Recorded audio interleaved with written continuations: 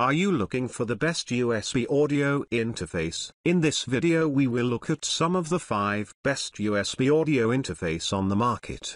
Before we get started with our video, we have included links in the description.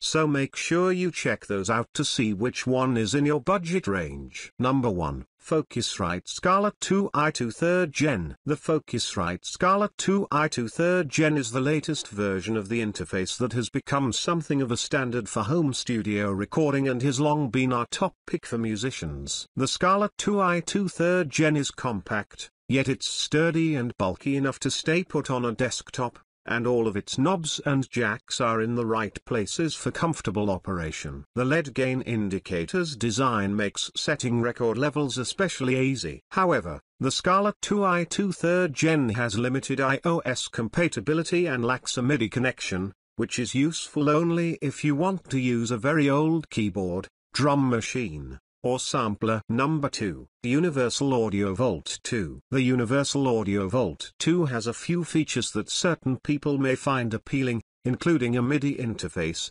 compatibility with earphones, and a more powerful headphone amplifier than most USB interfaces offer, which can be helpful if your monitoring headphones require a lot of power to drive to satisfying volume levels. The Volt 2's level meters are small, though, and we prefer the layout of inputs and indicator lights on our top pick. Number 3. Universal Audio Volt 276. The Universal Audio Volt 276 is a great step-up model for musicians who are more serious about recording. It has all the features and benefits of the UA Volt 2 plus an onboard compressor that can quickly and safely smooth out the highs and lows of a recording and make it a little easier for you to set recording levels. The Volt 276's larger chassis takes up extra space on a desktop but provides a sturdier control surface as well as a convenient knobs on top design and large input and output level meters. It's over 50% pricier than the Volt 2 and the Focusrite Scarlett 2i2 3rd Gen,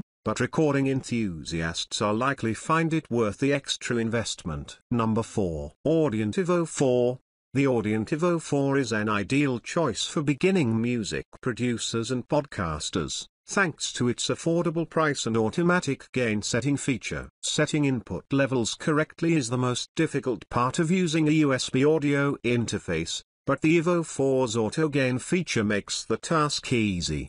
The box has a compact, lightweight design with a plastic chassis, so it may move around a bit on a desktop. It also has an unusual, single knob control configuration, but we got used to it. Number 5. Focusrite Vocaster 2. For those who create podcasts, a few minutes spent with the Focusrite Vocaster 2 will reveal the huge advantages it offers for podcasting. It's set up for a host and guest situation with large headphone level knobs that are easy to adjust. It includes a mute button for each mic, plus a voice enhancement button that you can set for one of four modes. You can easily bring in callers or background music from a phone through the Bluetooth interface or cable.